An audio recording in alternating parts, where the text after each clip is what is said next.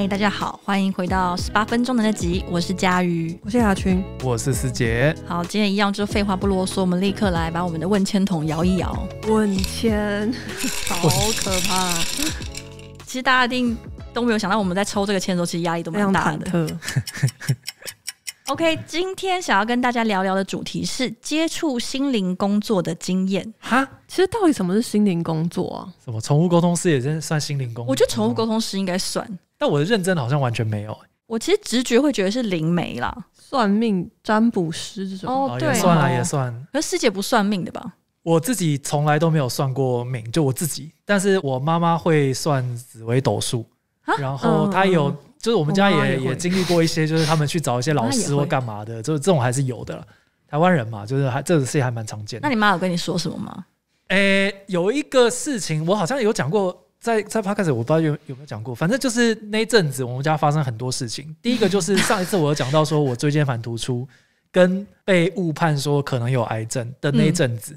然后同时间，我爸爸那个时候，因为他德高望重，所以薪水很高，公司第一个可能就会想要把这种资深的人裁掉，所以公司那时候在决定说要不要把他裁掉，所以我爸就会失业。然后再来就是我的阿妈要动脑脑癌的手术，那成功率很低，所以我妈就觉得说怎么同时间这么多事情都来，所以她就想要去找老师去帮他们看一下。结果呢，这整件事情到完全结束之后，我才知道我妈当时做了什么。好，我先讲结论。结论就是我爸的工作竟然的保住了，嗯，然后我那个癌症是误判，然后我阿妈的手术成功了。好，那过程发生什么事情呢？这些事情都已经尘埃落定之后，我妈就跟我讲说，其实当时那个老师就是真的给他们一些建议，然后他就把我一件衣服拿去擦了雄黄，然后我们家的那个天花板的某一个角落被贴了一张符，然后我爸甚至喝了可能一个月的符水之类。不是重点是，我觉得最可怕的是呢，其实师姐家或者是说师姐本人是信基督教的。其实严格来讲，也没有到那么那么虔诚啊。对，就是我信基督，我喝符水，我教。但我觉得 大部分台湾人好像都是。但但但我不拜拜的。哦，我倒是有一个跟师姐蛮类似的经验，不过我其实好像在之前的 podcast 就有讲过，所以我知道有很多人一直敲完要我们讲鬼故事。但如果真的想听鬼故事，可以去我跟 Ryan 就有一起录过的那一集，就是讲北漂以前的，对，讲北漂仔，讲租屋，因为我所有的鬼故事都发生在家里。对，然后跟。师姐的经历有一点像，就是我小学五年级到国二，反正就那三四年之间，嗯，就家里也是陆陆续续出事，就包含我爸就是脑中风，脑血管破裂，然后送加护病房，而且那时候是已经到要签那个病危通知，就有发病危通知。然后我妈也是呃，因为盲肠炎的关系开刀，然后结果后来就是引发变成腹膜炎。然后腹膜炎就蛮严重，其实蛮严重，对对，其实蛮严，也是那种会有病危通知的的手术。这样，我妹的话是在学校里跟 同学在教室里面追逐，然后我妹的衣服被黑板的沟槽勾到，所以她就跌倒。但她跌倒之后韧带就断了，所以我妹就直接。我想说，这个故事的起头其实还蛮轻微的，对，蛮傻。最后韧带断了也是蛮严重。对，就想说在学校里追在追逐，对，能能怎么样？哎，她就韧带就断了，然后就坐。就坐轮椅，就打石膏坐轮椅，应该有坐几个月。那那阵子你有发生什么事吗？我被车撞了，哇！对我出车祸，对，但是我出车祸是立刻站起来离开现场那种。佳宇身强体壮，对，因为我那时候觉得很尴尬，我只想赶快站起来离开，然后就他们就停车下来问我有没有怎么样，我就一直跟他说我没事，我没事，然后我就扶着墙壁一路走回家。超奇怪的啦，对，但是我一回家之后，我其实就站不起来。哦，对，就肌肉可能有些损伤这样子。但我后来有去医院看啊，医生就说哦没有啦，你这就就应该是。淤青 我不知道，因为医生就说没事没事，你看这边肉这么多，我就很傻眼。可是其实我也是当下是有一点没办法走动，然后就有点掰卡这样。反正就是家里的也是每每一个人都陆陆续续出事，然后跟那个时候在家里还有发生其他的灵异事件。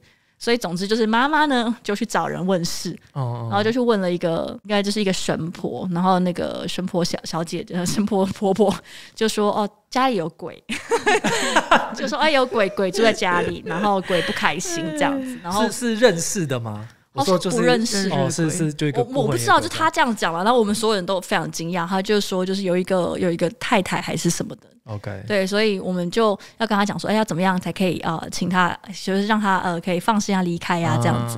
然后他们就指定要我跟我妹在某一天晚上过十二点之后，提整篮的金纸去我们家附近的庙烧。那时候你几岁？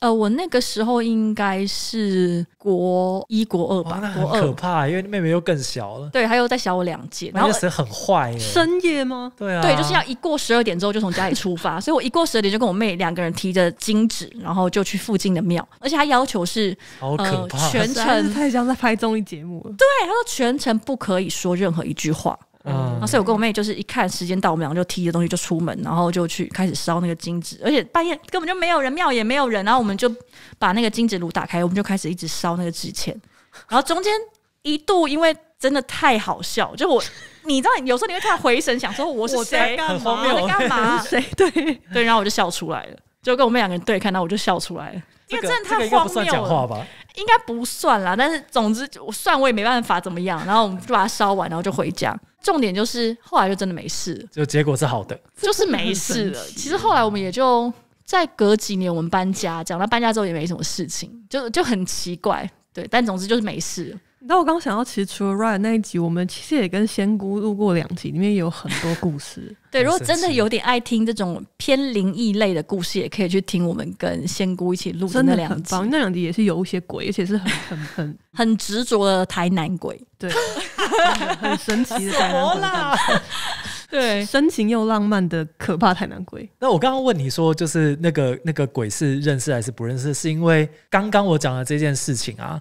后来祖先吗？后来据说是我阿公的某个弟弟祖先啊。对，然后因为我们家我爸我妈跟我基本上都完全没有这种体质或这种感应。然后老实说，我个人就是一个有就有，没有就没有，就我也没有太放在心上。可是我姐从小到大都说她自己感受得到。嗯，然后这整件事情的起因就是他他梦到了一个小朋友在哭还是怎么样的。然后后来那个老师就讲了这件事情，就说。应该是你阿公的某个弟弟，然后我们大家都不知道这个人啊。后来真的去问了，是夭折的，还真的有这个人。所以我本来都完全觉得说这个事情就是感觉很多都是乱讲的啊。但是听一听，觉得说哇，说不定还真的有可能是真的。那你下风吗？我没有下风，我只是觉得说哦，原来是这样子啊，就是有种发现一些新的事物的感觉，这样。因为这种是真的很怪，因为我仔细想一下，我们家。也有类似的，然后 大家其实都有多多少少一些。就想到这边就觉得祖先们也是蛮容易放不下的，因为 祖先们好坏。因为我家其实也是呃那几年也是我家我还很小，我可能国小还是刚上国中而已，所以记忆不是那么清楚，但就是知道家里不是很顺，可能也是生意失败，然后家里有身体健康状况不好之类的。那我是到蛮后来也才知道说，好像那时候爸妈也有去，可能也是问世事、问算之类的。因为我爸他好像很小就离家，不知道算离家出走还是怎么。我爸其实是没有跟他自己家里联络的，所以这些年来他好像也没有回家去什么扫墓啊什么，他都没有参加。然后可是后来我们就搬回台中了，因为我爸小时候就是台中人。然后听说啦，我印象中那时候就是好像老师也是什么，就跟他们说，就家里面的。祖先也不是很开心哦，因为很小就离开，就没有拜他们。对，然后好像真的，我爸后来就还是回去祭拜了一次，之后好像就事情就好一点了。哎，太神奇了！祖先们实在也是蛮放不下的。对，如果大家对祖先们的故事有兴趣的话，还可以再听我们上一集三十岁那一集，就是我们也有分享了同事呃祖先生气的故事，不太确定，但祖先也有可能是有好意的。对，但有感兴趣都可以去听那一集。祖先一推，学带全没。出现，你们考试的时候有没有去拜一些什么文昌君？这一定有啊，这个一定有，但是没有什么，呃，也不是说没有什么帮助，因为我小时候算命，然后我妈就跟我说，算命师说文昌帝君跟你很有缘。哦，很有缘，对，很有缘，所以我后来甚至是不管要求什么，我好像都会想要跟文昌帝君讲，觉得比较妈吉啊，因为我就觉得说，这就好像说你想要去一间公司。应征，但你不见得要去找人事部的经理，走后门啊！你就认识，那就就算他只是呃，比如说他是那个可能是呃创意的也好，或者他其实是业务部的，但总之有认识就比我们有机会。所以就算我要求某一些事情，可能也都会去找文昌帝文昌君造的，对，请文昌帝君再去跟他同事讲这样子，就有点这样的感觉。因为我妈那时候就觉得说一定要去拜，然后我其实小时候就是嘴巴很硬的一个人。所以，我我就真的去拜的时候，我就心中，因为他不是要讲说什么我是谁谁谁，然后什么时候去考，还要讲你的那个户籍地处跟居住的地方。然后我就在心中默念，就是我是谁谁谁，然后就是我妈妈叫我来拜，但是我觉得我自己就考得上。你有什么毛病吗？我就说我当时嘴巴很硬，我长大就个性就软很多，但我以前就真的是比较嘴巴很硬的这种。我很好奇，就是那时候如果是神听到说，不知道心里作何反应应。该就觉得 OK OK，OK，那你干嘛来这这？家文昌帝君造的啊，哦，话说我之前有自己去找算命师，这样，然后很年轻的时候，应该二十五岁，然后我真的是进到那个奇怪的二楼，里面坐满了人，就是所有就是呃，是真的有那些人还是？什么意思？我就想说坐满的人可能是你别人看不到的。没有没有没有没有没有，哦就是都是一些老老少少，但基本上都是中年人甚至以上，就还有、嗯也有很多那种婆妈级的人这样。然后后来才知道说，因为那是同事介绍的，然后好像说那个老师非常有名就是很多那种大老板，然后取公司的名称什么的都会还会特别去找他算，然后就很有名的一个老师。然后我先不讲他算的准或者不准，但是我后来去想，跟回家去 Google 之后想说，哦，他可能是，有一些引导是不是？他可能是走养小鬼那个路线的。呃，是这种套路哦，我哎也是什么什么心理的一些啊，学术上的一些哦，不是不是不是，因为养小鬼的套路就不一样，像他有些是要算紫微斗数嘛，或者什么塔罗牌要抽牌，紫微斗数就会跟你要生辰八字，他会排盘给你看，对不对？对对。但是那个老师完全不用，就是你一进去就坐下来，然后就会说哦，你是那个谁谁谁哈，因为你会写名字，就像登记，然后就说嗯对，然后就这样盯着你看，然后就一直盯着你看，然后就会开头讲一件你无法辩驳的事情，哦然后就直接虏获你先给你一个下马威这样。哦对，然后据说这个就是养小鬼那一派的人的套路，因为他就是有有小鬼，然后小鬼会把你身上的灵叫出来沟通，OK，所以有一些事情他小鬼就会知道。但是据说啊，也有人会说，也因为这样子，所以他在推算过去的事情是会讲的很准。哦，因为灵知道，对，可是未来的事情你的灵也不知道。所以有可能他前面那个下马威是真的，可是后面他推的东西其实不见得这么准。对因为已经信了，对，因为你就真的会被震折到。像我那时候是跟我朋友一起去，哦然后他讲我的东西，我就没有很买单，就是还好。然后他讲我朋友，我朋友是真的有吓到，因为他就问他说是不是有改过名字？你这个名字改的很好。然后我朋友改名这件事情非常的低调，甚至连我们大学同学几乎都没有人知道。对靠，然后他就觉得很惊讶，然后还有讲到，就比如说他是单亲家庭，然后家中还有另外一个手足，然后家里什么关系不错之类，类似像这种，就都说的蛮准的。但是结果就是，像他本人的经验是，那个老师到最后就会跟他说：“你要答应我一件事，嗯，你不可以去当人家小三，知道吗？知道吗？我基本上会给任何一个我的朋友这个建议了。对。然后他就一直跟他讲说，因为你现在这个男朋友不会是你最后那一个，哦，他就这样讲，他就说你会在三十二岁的时候遇到你的真命天子，讲到这么细哦，对，然后三十三岁会结婚。，Oh my God，然后就就这样讲，然后然后最后一直跟他讲，跟他讲两三次，要他答应不可以当小三。但是就在今年，我那个朋友嫁给他当初那个吓我一。跳，我以为你要讲什么 了。没有没有没有，他最后就是嫁给当初那个男朋友。OK，对就是一直都是那一个人。然后，但如果硬要讲的话，确实也是在他三十三岁那一年结婚。好厉害哦！对，就是如果这样讲，就有可能他当了小三之后，就是走向他那条路了。因为我那时候我朋友算完出来之后，有点有点失落，因为她还蛮想跟男朋友在一起。我还以为还蛮想当小三，可是我觉没有，得他那时候有想说，如果老师讲的可能很准，因为她可能最后没有办法跟这个男朋友在一起，但是她可能会变成那个男朋友的小三。哦，对她那时候就已经有一些神秘的想法。可是这就是为什么我就我从小到大我自己都没有去算过命，嗯，然后我也不怎么听别人讲，就像我妈会讲我的紫微斗数什么，我也就是听听而已。就我就觉得一定会被影响的，嗯嗯嗯，就是自我暗示听之前跟听之后一定会被影响。我就觉得就是很不想要被掌控的感觉。然后那个老师是跟我说，他一进来可能也是想要震着我一下，然后但我也其实有点忘记他跟我讲的东西是什么，但是我就是我那时候觉得这个东西还没有到真的很强，就是 OK OK 这样。然后中间有一度呢，是他想要问我说，他说你现在住的住在家里对不对？算是住在爸妈给你的房子，然后我就跟他说，呃。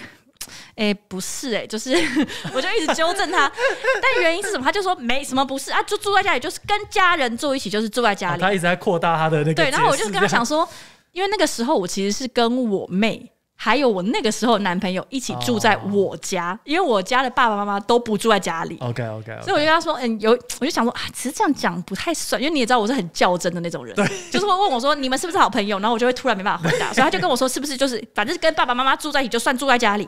我跟他说，哎、其实呃，我其实不太算，就是跟爸爸妈妈住在一起这样。啊然后他就说，啊，你爸妈有帮你付房租，那就是住在家里。就是他又在扩大解释。然后我就跟他讲说，呃，我爸妈其实没有付房租，那个时候房租是我跟我那个时候的男朋友，哦，还有我妈，我妈有出，就我们是三个人一起付了那个房租，所以他非常 非常混乱。到最后就是我觉得算了，不要跟他沟通好了，因为一直打他的脸，然后我家的情况又太复杂了，就是很难解释。但他那个时候有跟我讲说，你爸。叫你爸不要再做生意了，你爸是一个常败将军。我超傻眼，关于这一点，佳宇的评论是超级准，因为他就一直讲说，你把他做什么事情，就是都会一直屡战屡败，还不是屡败屡战，是屡屡战屡败这样。OK 他说他是，而且他还写他是常败将军。我想说也不必要给他这个头衔吧，就是不要做就不要做，干嘛不能做干嘛？对啊，什么东西？然后反正也是讲一讲，然后他后来也是说，哦，你呢就是呃三十一岁会遇到你的真命天子，然后三十三岁会跟他结婚，这样哎，等一下，快了哦，早就过了。过了哦，都过啦，三十一跟三十三都过了。可是这件事情确实有让我在三十岁，因为他是我那时候想说三十一岁应该是虚岁嘛，所以大概是三十岁那一年，所以我那个时候就认识的对象的时候就会特别紧张。但事实证明，就是？也只是一场空而已，没有都没有，就是那些我通常都只我也不会很信嘛，就我也不会觉得说哦，我今年遇到的一定就是他了之类的，放在心上吧，会会稍微放在心上，对就是也是会有一点点那个自我暗示，但是因为有太多东西都不是很准的，嗯。你就会觉得就是稍微有一点不是那种买单，而且你加上你知道说哦，养小鬼的套路可能是这样子，所以未来的事情比较他没办法推的真的非常的准，哦，对他可能到你这个当下为止之前，他可能都是很清楚的。这，其实比较适合做征信社，而不是算命师。对，就带男朋友去，哦然后问他有没有偷吃，这种 现现场问，对，就是哎、不要就骗他说要去骗他说要去算命，但是其实想要知道他有没有偷吃。过去，对这种的，可能可以去找他。对，那我不知道，像塔罗应该也算是一种心灵工作，雅群的经验应该蛮丰富。可是我刚刚就在想，就是我算塔罗，其实应该没有算很长算吧，但就是比如说三个月或半年想到会去算一次。可是我现在觉得算塔罗对我来说有点像是事实确认，就是因为我也觉得他怎么讲，就讲未来的事，本来塔罗就不是那种，就比如说你现在因为你是这样想，所以会出现这样的结果，但可能两天后或怎么样，你自己的决定改变了。它就可能不适用，但是对我来说，塔罗可能比较像是我现在这样想，然后塔罗让我觉得讲的很准，我就可以更确认自己的想法。哦，算是坚定自己信心用的这样。对，然后所以我也不太会拿塔罗来算一些，比如说假设我今天决定要换工作，我会问塔罗这个决定好不好？你可以问我啊，呃，对我可能直接问师姐会比问塔罗更那个，蛮准的，蛮准的。对师姐或家里会会更准，但就是会比较确认自己的心意。所以我就觉得还好，就是那种算未来的，我没有很期待从算命里面得到这种答案。我想到之前跟他们分享，之前好像也有讲过，就我去算那个塔罗，然后塔罗牌就说我在这一年内遇到男生，全部都会在考虑别的女生，所以我那一年认识所有新的男生，就是男生朋友这些，我都会他只要多跟我讲两句话，我就会我心里就会想说，哼，还不在犹豫别的女生。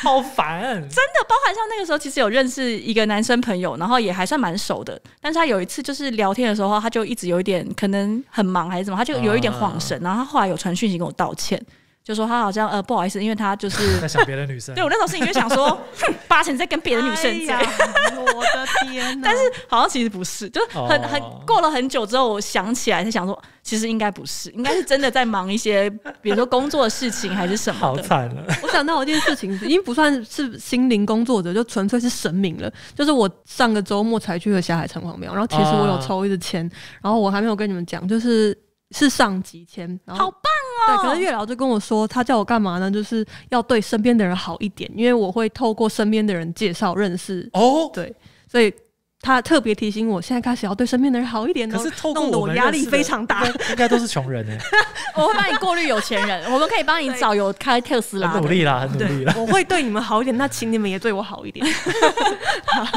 不知道 Podcast 听众算不算我们身边的人？